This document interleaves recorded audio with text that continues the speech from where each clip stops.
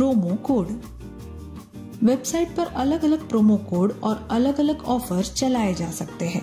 Promo code को set करने के लिए आपके प्रोमो कोड का कुछ विशेष नाम यहाँ पर उल्लेख करें। प्रोमो कोड किस प्रकार का होना चाहिए इसका सिलेक्शन करें और प्रोमो वैल्यू का उल्लेख करें। मैक्सिमम छूट मूल्य तय करें। कोड की स्टार्ट डेट और एंड डेट को यहाँ पर निर्धारित कर लें।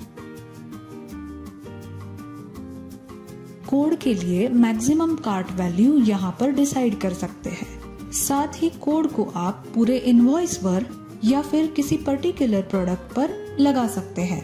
यदि आप किसी पर्टिकुलर प्रोडक्ट पर ऑफ़र कोड दे रहे हैं तो उस प्रोडक्ट को आपको यहाँ चुनना होगा। मेंशन करें कि आपका इस कोड का इस्तेमाल कितनी बार किया जा सकता है। हम सुझाव देते हैं कि इसके लिए आप कोड के इस्तेमाल की हायर वैल्यू सेट करें। इस प्रोमो कोड को रिप्रेजेंट करने वाली इमेज आप यहाँ पर जोड़ सकते हैं। यह इमेज आपके वेबसाइट पर दिखाई देगी। इसके लिए आप ऑल टेक्स्ट भी प्रदान कर सकते हैं। सबमिशन आपके द्वारा किए गए चेंजेस को सेव करेगा।